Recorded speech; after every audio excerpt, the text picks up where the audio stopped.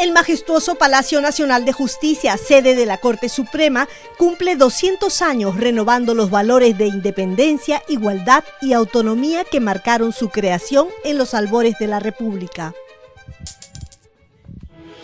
Por eso el Banco Central de Reserva, a través de la Casa de la Moneda, viene preparando una verdadera joya de la numismática, la moneda del Bicentenario que llevará la imagen de la imponente obra que el arquitecto polaco Bruno Paprowski tomó 10 años en edificar.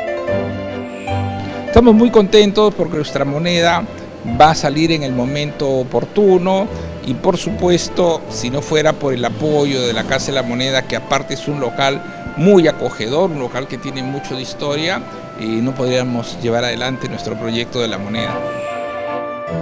La pieza metálica de plata con la imagen del Palacio de Justicia estará lista en unos meses. Los diseñadores de la Casa de la Moneda le mostraron al presidente Javier Arevalo parte del proceso de elaboración.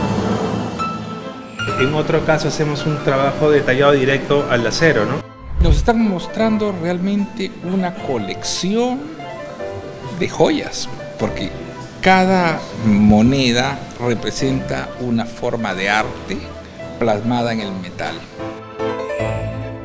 Solo en ocasiones especiales el Banco Central de Reserva dispone la elaboración de monedas conmemorativas en homenaje a algún personaje o institución que ha marcado un hito en la historia del país.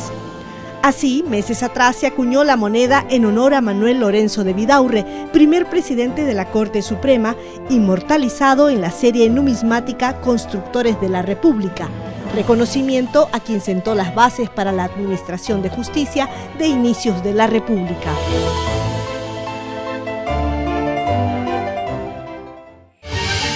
Esta vez la moneda del Bicentenario está en marcha y pudimos ser privilegiados testigos del funcionamiento de la moderna prensa donde se acuñará la valiosa pieza de edición limitada, una joya que de seguro interesará a la comunidad del Poder Judicial y a los coleccionistas en el arte de la numismática.